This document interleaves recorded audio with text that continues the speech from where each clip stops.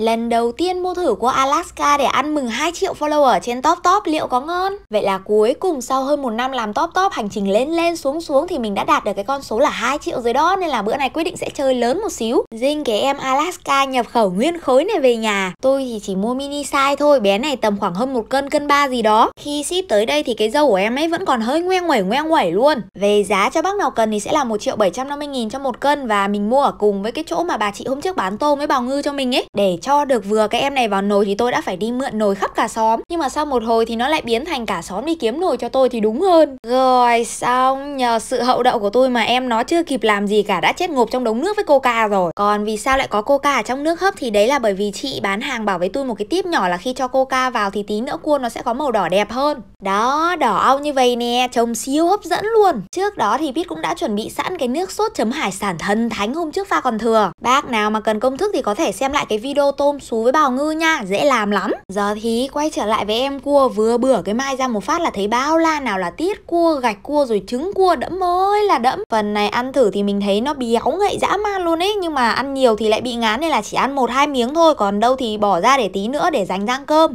với mình nghe nói là đối với những con cua cái như thế này thì phần gạch cua của nó chính là trứng cua luôn ấy mà. Xong xuôi rồi thì tức tốc chuyển ngay qua ăn mấy cái càng này tôi với thằng cháu tam tia nãy giờ rồi. Đấy, đây là cái khúc mà tôi thấy mấy anh chị múc bang hay rút cái này ra xong chấm vào cái sốt kiểu siêu cay các thứ nè. Nhưng mà khổ nỗi là bản thân lại không hợp với không quen với cái sốt samyang đấy nên là thôi mình cứ chấm cái sốt hải sản hồi nãy đi. Người được thưởng thức đầu tiên không phải là tôi mà cũng chả phải là bố mẹ tôi mà là cái thằng cháu háo ăn này đây. Tôi kể cho các bác nghe nhé cái ông thần này đã từng có thời gian tuyên bố là là sẽ đập lợn chỉ để mua cua Alaska ăn rồi là bán xe cũng chỉ để mua cua Alaska ăn thế là đủ hiểu là nó thèm tới mức nào rồi đấy. May mà nhà tôi ngăn lại chứ không thì đến cái nịt cũng chẳng còn. Cô hôm nay thì mình thấy cũng không phải là quá mẩy đâu, nhưng mà được cái là chắc thịt, ăn thơm, mềm, ngọt, ngon lắm. Đã thế lại còn chấm với cái sốt hải sản có đủ vị chua, cay mặn, ngọt này nữa thì nó cứ phải gọi là đúng đỉnh luôn sau đấy thì thật ra mình cũng chỉ chấm mút một hai cái càng thôi, còn lại thì để phần thằng cháu. Một số mấy cái chỗ thịt vụn vụn ấy thì à, để dành để bây giờ mang đi rang cơm nè. Đầu tiên là cứ phải phi hành tỏi cho nó thơm, lưng cả nhà lên thơm điếc mũi vào, sau đó mới cho cơm rồi cho trứng vào.